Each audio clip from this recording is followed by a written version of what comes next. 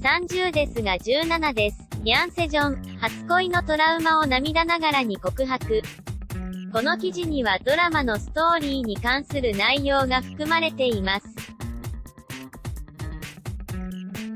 写真イコール SBS、30ですが17です。放送画面キャプチャーヤンセジョンが涙ながらにトラウマを告白した。韓国で14日に放送された SBS、30ですが17です。脚本、チョソンヒ、演出、チョスウォン、では、ソリ、シンヘソンに初恋のトラウマを打ち明けるコンウジン、ヤンセジョン。の姿が書かれた。同日、ソリはウジンに17歳以降、30歳まで昏睡状態だったと打ち明けた。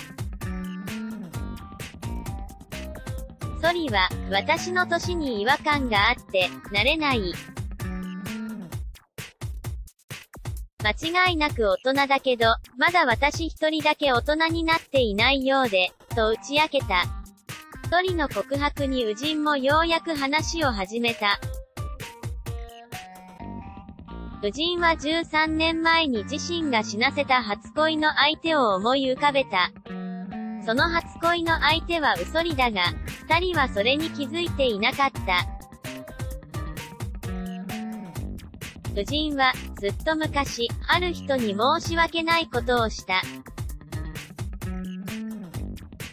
でも、僕はあまりにもバカで、あまりにも子供で、まだ誰かにその話を打ち明ける勇気がなかった、と言いながら涙を流し、視聴者の心も切なくさせた。ソリは、辛かったら言わなくてもよい。言ってくれてありがとう、とウジンを慰め